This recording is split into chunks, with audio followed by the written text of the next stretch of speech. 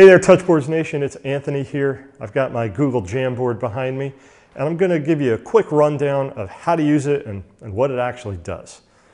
So right here, we have our Jamboard. It says hello. Uh, first, I'm going to clear that out of there, and we're going to start fresh. So new jam.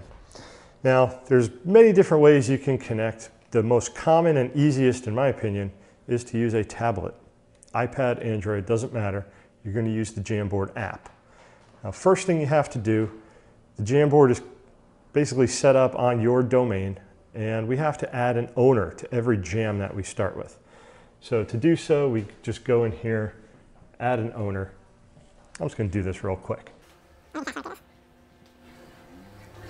right, so now that we have an owner assigned to it, we can add collaborators. And over here, we can add people. We can also broadcast it out and add people that way. Uh, but like I said, the best way to do it, in my opinion, is to add a collaborator who's using a tablet. And I'm just going to enter an email address for the app in my iPad here.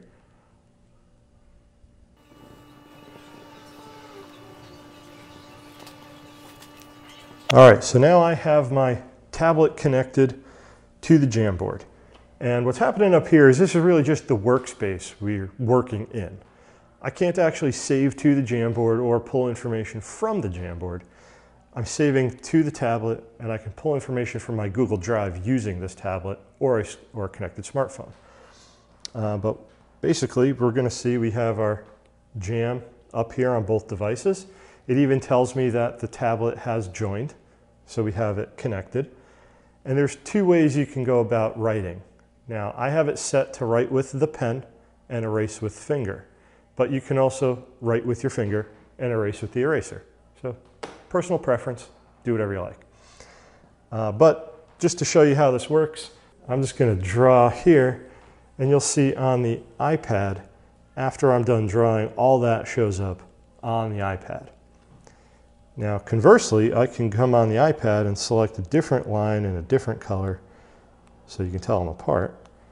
And I can draw right on here and that's going to show up on the Jamboard itself. So you have this collaboration, this back and forth. So whether you're, you have multiple people in the same room working on the Jamboard that it's then going to save to their iPad, or you have people not in the same location. I can be writing on the board itself. You can be half a world away on your tablet, and you can contribute to this jam from wherever you are. You're going to see what I write, I can see what you write, and so on. What's great about the Jamboard is you're not just limited to writing. You have web browsers in here. You can drop little pictures that Google set up in here for you. You can even do image searches. Uh, for example, the word I. So I want to use this in my jam. I just drop it over there. And if I change the page on my tablet, you see it there on my tablet.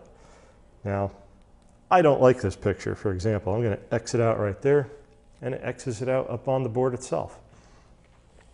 So that's just a quick rundown of what it's actually doing. You know, I can draw up here and see it here and vice versa.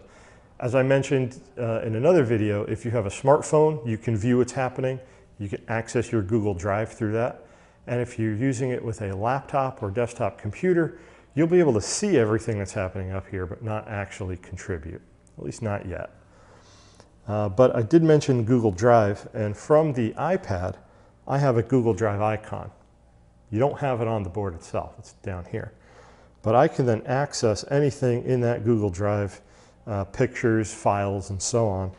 So I just added this picture to it, and now that that's up here on the Jamboard, it's another object in the Jam that I can manipulate. I can move it around, blow it up, shrink it, duplicate it, delete it, whatever you want to do. Unfortunately, it's not a great picture, so it doesn't look very good on the screen. But what are you going to do? um, again, that's a quick rundown of the Jamboard's basic functions. In addition to all that, you can do Google Hangouts. So I can have a video call between the tablet and the Jamboard. There's a camera and a microphone in here. So for those people in remote locations, you can do video calling. You can even incorporate your Jam into that. And you have the web browser, you have the Google image search, so you can pull stuff from the internet. I'm going to show you that a little bit more in another video. Lastly, the other cool thing you can do with this is just display video on it. There's an HDMI port on there, so if you want to use it as a regular LCD screen and display video from another source, you can. You can also cast to this device. It's like that there's a Google Chromecast built in, so I can take smartphones, laptops, whatever I've got, cast directly up here and display video uh, right on the Jamboard.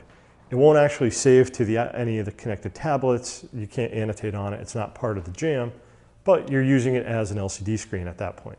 So just another little bit of functionality for you. So definitely check out my next video where I'm going to go a little more in depth as to what all these little tools are so you can get an idea of what you have to play around with in these jam sessions.